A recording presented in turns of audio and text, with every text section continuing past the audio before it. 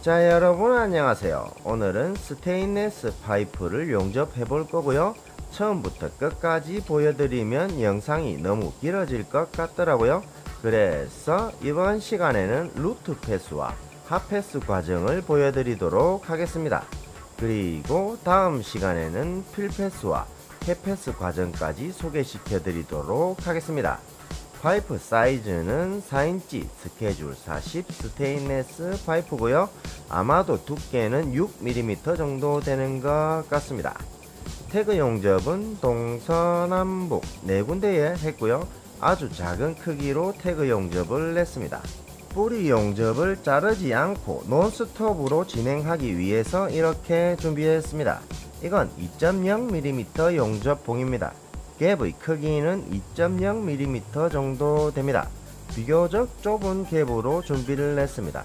이건 2.4mm 용접봉입니다. 2.4mm 용접봉을 사용해서 용접했을 때 용접봉이 갭 사이로 들어가지 않는 크기로 갭을 만들었습니다. 좁은 갭 사이로 눌러서 용접하기 위해서 이렇게 핏업을 했습니다. 그리고 용접봉과 좁은 갭을 녹여서 용접하기 위해서는 비교적 높은 전류가 필요합니다. 용접기 세팅은 이렇게 했습니다. 전류는 140A입니다. 암페어는 용접기 종류나 작업 여건에 따라서 달라질 수도 있으니 간단한 참고 정도로만 하시길 바랍니다. 자 그럼 시작해 볼게요.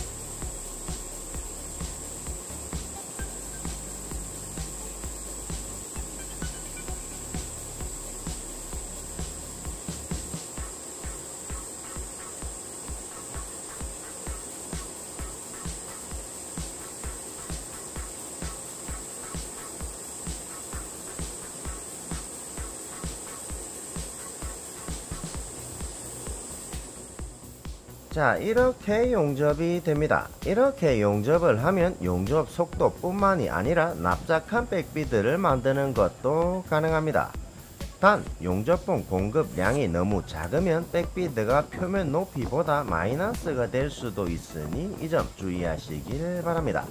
back bead 높이는 마이너스만 되지 않으면 됩니다. 반대로 조금 더 볼록한 back bead를 원하신다면 용접 속도를 조금 낮추시고 용접봉 공급량을 높이시면 됩니다. 오늘 보여드린 방법은 배관이나 또는 탱크 등을 제작하는 실내 샵에서 흔히 사용되는 용접 방법 중에 하나입니다. 턴테이블이나 로테이터에서 용접을 할 때 많이 응용이 됩니다. 좁은 갭으로 핏업을 하게 되면 파이프 사이 홈의 간격도 줄어들기 때문에 용접해야 되는 횟수도 줄이실 수 있습니다. 그만큼 작업 공정이 줄어들기 때문에 용접 작업 시간이 단축됩니다. 또 한 가지 비교적 높은 전류를 사용하기 때문에 태그 용접과 연결할 때 또는 마지막 연결 부위에서 실수할 확률도 줄이실 수 있습니다. 이런 장점들 때문에 많이 사용되고 있는 용접 방법입니다. 추가로 궁금한 사항이 있으시다면 좁은 갭 용접에 대한 영상들이 몇 개 있으니 참고하시면 도움이 되실 겁니다. 물론 이전 시간에도 스케줄 10 파이프에서 이와 비슷한 내용들을 보여드렸습니다. 그러나 두께가 조금 더 두꺼운 파이프가 있어서 추가로 보여드린 거고요. 다른 사이즈의 파이프들도 보여드릴 예정입니다. 물론 갭의 크기가 다른 상황들도 있을 거고요. 수직, 수평, overhead, 5G 등 다른 상황들도 주기적으로 소개시켜 드릴 예정입니다.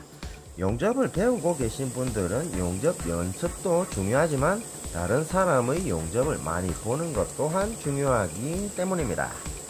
자 이번에는 두 번째 용접 핫패스고요 로테이터에서 용접을 하실 때에는 루트 패스가 끝난 후에 용접을 멈추지 않고 바로 핫패스를 이어가셔도 됩니다 전류는 이전과 같습니다 핫패스 과정은 세 번째 용접이 잘 되게 하기 위한 기초 작업이라고 생각하시는 것이 좋습니다 뿌리 용접을 한 후의 표면은 거칠고 홈의 각도도 가파릅니다 이런 표면을 완만한 각도로 만들고 넓게 펴주는 과정이라고 이해하시는 것이 좋을 것 같네요. 이 과정에서 용접 부위도 조금 더 두꺼워집니다. 이렇게 하면 3패스 때 조금 더 높은 전류를 사용하실 수 있고요. 그로 인해서 더 많은 용접봉을 녹이는 것도 가능해집니다. 그럼 용접 부위를 더 많이 채우실 수도 있을 겁니다. 단 hot pass 때에는 입열량이 높아지면 파이프 내부의 back bead에 데미지가 전해질 수도 있으니 이 점 주의하시길 바랍니다. hot pass가 끝날 때에는 용접을 조금 더 이어가면서 fill pass 때의 용접을 미리 예상해 보시는 것도 좋습니다. fill pass 때의 전류량, 용접봉 선택, 채워야 될 높이 등을 미리 계획하시면 다음 과정이 조금 더 쉬워지실 겁니다. 자 이렇게 오늘은 root pass 과정과 hot pass 과정을 소개시켜 드렸고요. 다음 시간에는 채우는 용접과 final 용접 과정을 소개시켜 드리도록 하겠습니다. 그리고 또 한가지 이렇게 용접이 겹쳐지면서 back bead는 조금씩 조금씩 솟아오른다는 점 참고하시면 좋을 것 같네요. 자 그럼 오늘은 이만 여기까지. 오늘 영상이 유익했다면 좋아요 부탁드리고요 자 그럼 오늘은 이걸로 마치고 다음 시간에는 또 다른 내용으로 다시 돌아오겠습니다. 시청해 주셔서 감사합니다.